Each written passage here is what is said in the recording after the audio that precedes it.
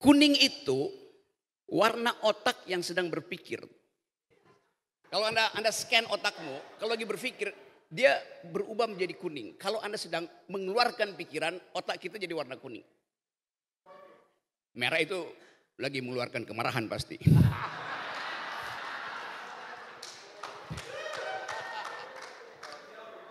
Hijau lagi menyimpan kecemasan.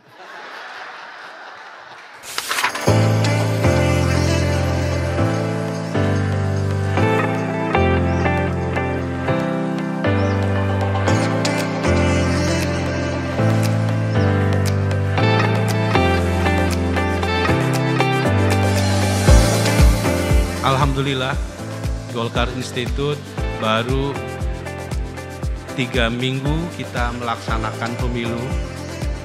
Namun karena komitmen kita yang sangat kuat bahwa pendidikan politik tidak boleh terhenti, maka tiga minggu setelah pemilu kita langsung kembali menyelenggarakan YPL yang ke-18, ke-15 ini.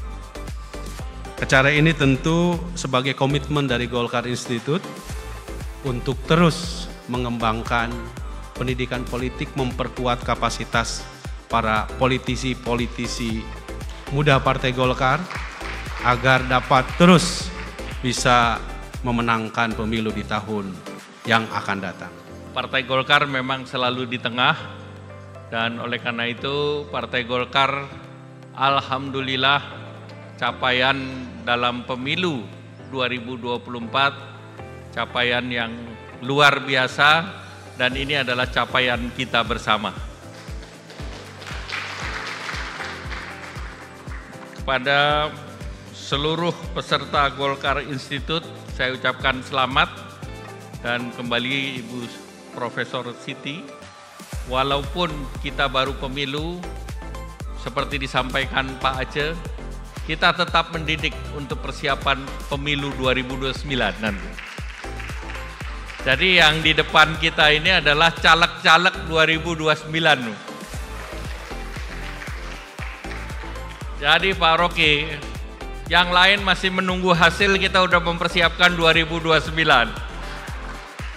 Kita selalu ahead of curve.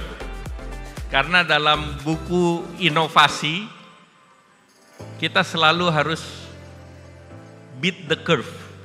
Kita selalu harus mengalahkan kurva dan to beat the curve we have to ahead of the curve. Itu sebetulnya rahasia kenapa Golkar bisa menang karena kita beat the curve dan kita terus melakukan inovasi.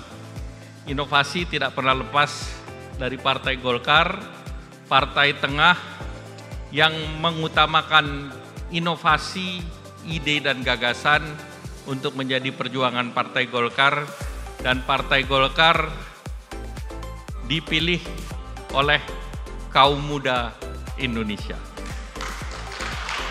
Saya sangat bersyukur mendapatkan kesempatan ini bersama Pak Cicip dan juga kepercayaan dari Ketua Umum dan para senior Partai Golkar untuk bisa menulis uh, buku Jalan Tengah Partai Golkar. Insya Allah buku ini bisa bermanfaat bagi generasi muda dan tentunya inilah landasan pijakan Golkar hari ini dan yang akan datang. Golkar ingin menegaskan melalui buku kecil, tapi buku ini padat banget menurut saya, padat banget. Semuanya ada tengahnya gitu ya. Politik tengah, ekonomi tengah gitu ya, dunia tengah, luar biasa tengah semuanya ingin menegaskan uh, kembali keberadaan Golkar yang tidak hanya sebagai golongan karya atau functional growth yang berposisi di tengah, tapi juga sebagai wadah kemajemukan. Itu sebetulnya. Ya, kemajemukan masyarakat Indonesia dan untuk tentunya satu hal yang tidak disinggung adalah merawat harmoni sosial. Kesatuan persatuan iya, tapi harmoni sosial itu khas Indonesia. Golkar didirikan secara intelektual, secara konseptual, dan itu yang sebetulnya membuat Golkar bertahan.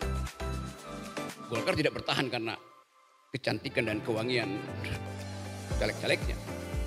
Walaupun saya lebih banyak berteman dengan perempuan kader Golkar daripada yang laki-laki itu. Karena wangi. Wangi pikiran. Dan di ruangan ini seluruh jenis UD toilet, IDT itu, wangian ada di sini. Surplus parfum ada di Golkar. Kuning itu warna otak yang sedang berpikir. Kalau Anda Anda scan otakmu, kalau lagi berpikir, dia berubah menjadi kuning. Kalau Anda sedang mengeluarkan pikiran, otak kita jadi warna kuning. Merah itu lagi mengeluarkan kemarahan pasti.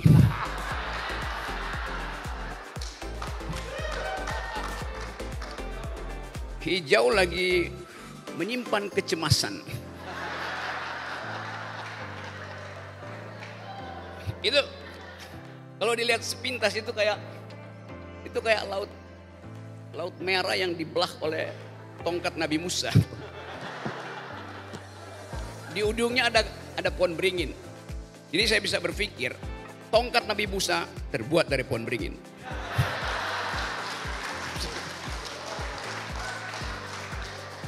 Jadi buku ini jadi semacam tuntunan akademis, tuntutan tuntunan intelektual untuk memulai kaderisasi di Golkar. Karena 2029 orang akan bertengkar dengan kapasitas berpikir. Untuk menuntun Indonesia pergi pada pikiran-pikiran besar. Nah, anggaplah buku kecil ini semacam kompilasi dari upaya teman-teman muda di Golkar untuk memuliakan pikiran. Karena itu, selamat datang pikiran, selamat datang kader-kader Golkar di sekolah akademi yang kita sebut sebagai Golkar Institute.